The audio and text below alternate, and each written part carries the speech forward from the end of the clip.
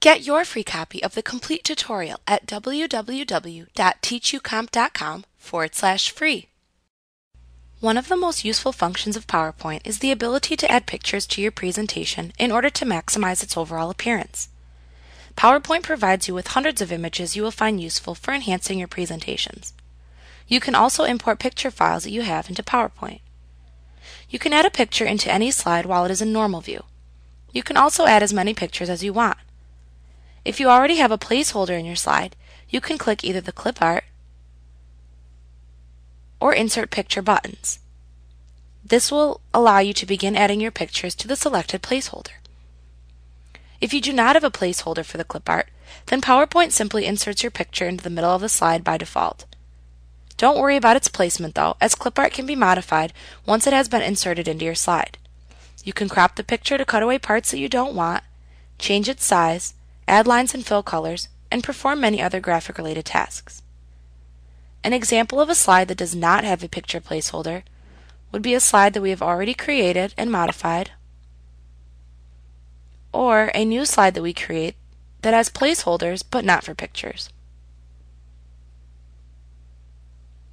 As mentioned earlier, if you have a content placeholder placed in your slide, then you can click the Clip Art button to open the Clip Art task pane at the right side of the presentation window.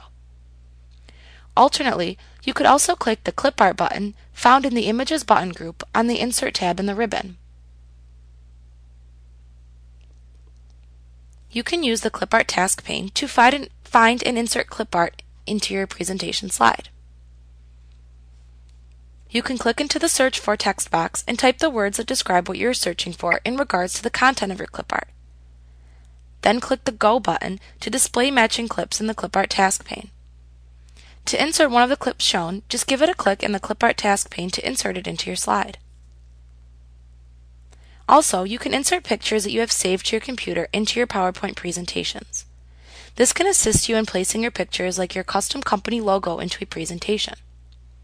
To do this, either click the Insert Picture button in a content placeholder, or click the Picture button in the Images group on the Insert tab in the ribbon.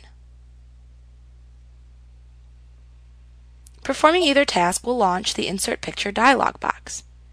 Here you can navigate to the folder that contains the picture that you want to insert. When you see it in the white area, click it to select it.